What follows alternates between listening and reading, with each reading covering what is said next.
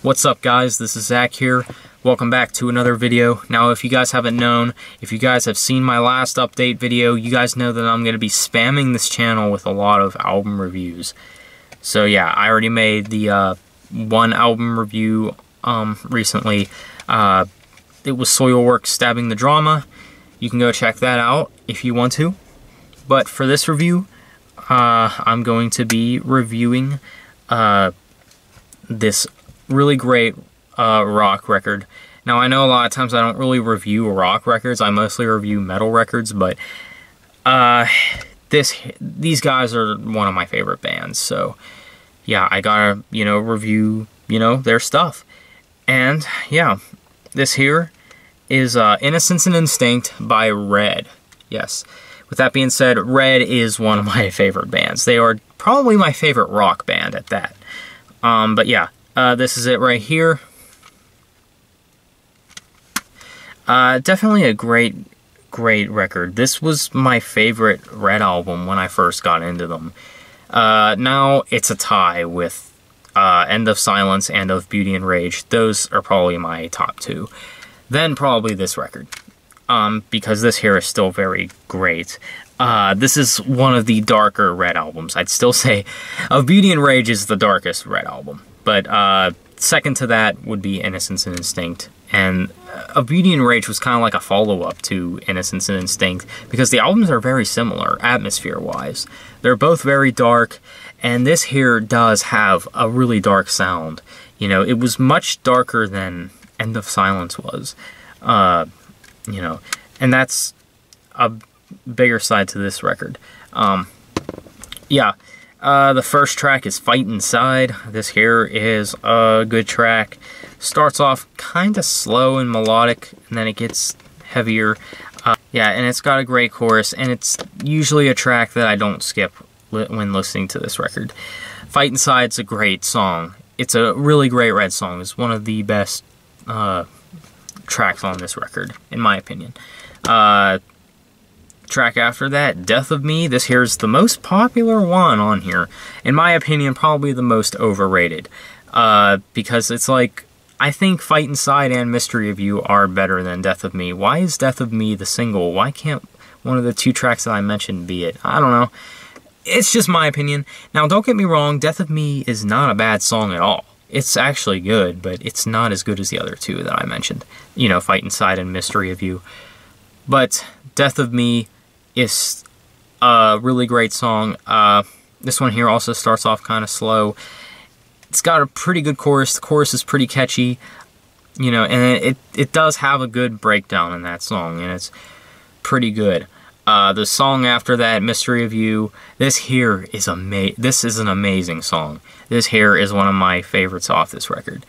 Um, yeah, Mystery of You is a melodic song. It's slower than the first two tracks on this record, but it is awesome. It's got a very good chorus. The bridge to this song, I don't know, the bridge to this song is the one thing that sticks out to me. Anytime I think about the song Mystery of You, the bridge to this song is usually what I think about. It's got a really good bridge. Um, and then, you know, it kicks right back into the chorus, and then, like, it gets heavier at the end. Like, it has a just epic breakdown at the end. Uh, yeah.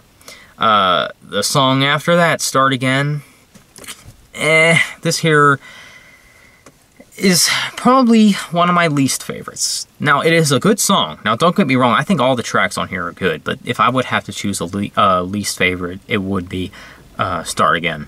But that's just my opinion. It's a lot slower than, uh, you know, the first three tracks. I don't know, you just kind of like, it just, it's just not really that fun to listen to. It's kind of slow and it's kind of boring. It just makes you want to skip it. However, uh, you get to the next song, which is Never Be the Same, which is just a plain out ballad. And uh, this is actually a bit better than uh, Start Again, in my opinion. I think it's a little bit better, but, you know, it has acoustic guitars in it. If you guys know me, I, I do like acoustic guitars um, in songs. I think, you know, it always, they sound great. And with Red, Red knows how to do them right. Uh, yeah, Never Be the Same is more of a love kind of song. Uh, so lyrical wise, it's not the best, but it overall is a good song. Uh, the track after that, Confession, What's Inside My Head. This here is another uh, great one. I, I just love the guitar riffs at the beginning of that song. You know, it just, you know, it, has got a huge build up and it just gets right into the song. Uh, you know, it's also got a good chorus, and then like it has, you know, Mike's vocals screaming at the end. It's really great. That's one thing I love about that song. Uh, the song after that, which is Shadows. Now, for those of you who don't know, if you guys are a fan of the band Breaking Benjamin, you guys would know that uh, the song Shadows was co written by the lead vocalist of Breaking Benjamin, Benjamin Burnley. And you can definitely tell in the lyrics it does sound like a Breaking Benjamin song. Like, uh, it's really dark, like a Breaking Benjamin song. And I, I love that track for that reason.